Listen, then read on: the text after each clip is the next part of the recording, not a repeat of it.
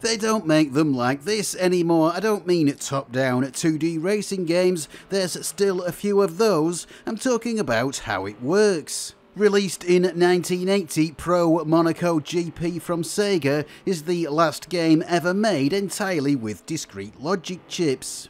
What does that mean? Well, like Pong, Breakout and all the other early arcade games, this has no CPU. It's not just a specialised computer as all game hardware since has been, it's a single-use circuit designed to play this one game. Most like this were incredibly simple, but this has a lot of features and full colour graphics, impressive for the time. And actually this is a remake, a simulator by Ben Greeves, because games made like this can't be emulated. After this came out, no one ever made another commercial game the same way, and probably no one ever will again.